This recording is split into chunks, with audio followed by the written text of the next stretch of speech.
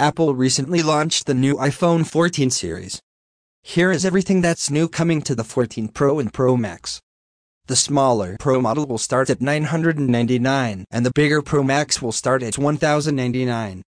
The prices are the same as the 13 Pro and Pro Max from previous year.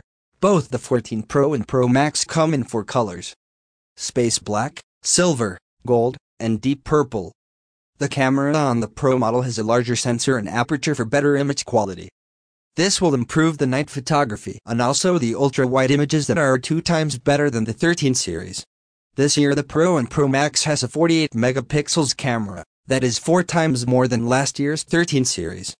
A new action mode video has been introduced, that will make super steady videos on the Pro models. The new 14 series now has the always-on display, the new display also has a max brightness of 2000 nits, compared to the 1200 nits from the 13 series. All of these come with a 6.1-inch display on the 14 Pro and a 6.7-inch display on the 14 Pro Max, similar to the 13 series.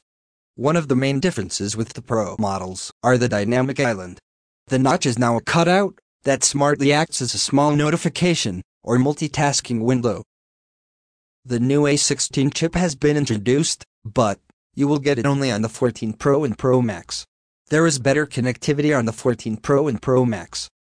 There is the new emergency SOS feature and also Bluetooth 5.3.